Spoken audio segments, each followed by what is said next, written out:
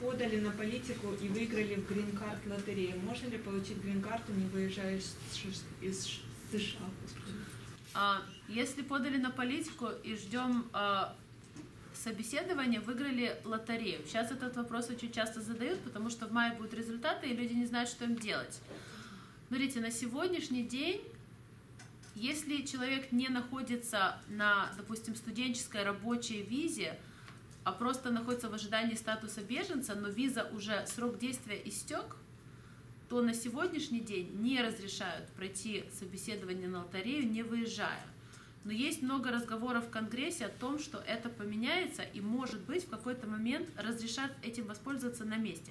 А на сегодняшний день, если человек выиграл лотерею и ждет статус беженца собеседования, то нужно просто принять решение выезжать и проходить собеседование на лотерею в своей стране и рисковать тем, что вдруг там не получится и пропадет статус беженца.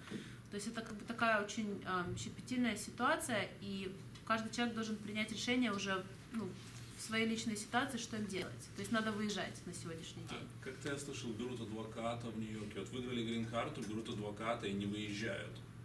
А, С адвокатом идут в суд и в суде, там дол- тоже долго, там годами судятся, но они не выезжают. а, ну, как бы смотрите, судья, на самом деле закона такого, который дает возможность получить грин-карту, не выезжая, если статус уже просроченный, нету.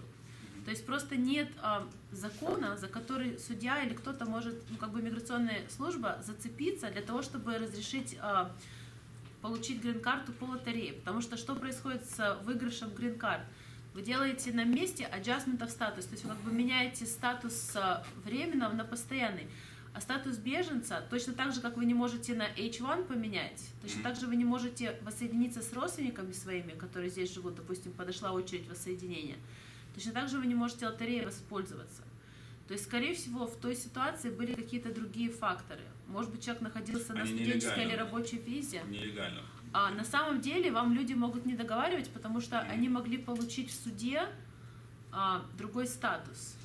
Если они были 10 лет здесь, они могли получить, есть такое называется cancellation of removal, это как бы можно получить грин-карту по другим правилам. Мгм. Скорее всего, это не было по лотерее, а они получили, просто выиграли кейс через суд по другой категории какой-то.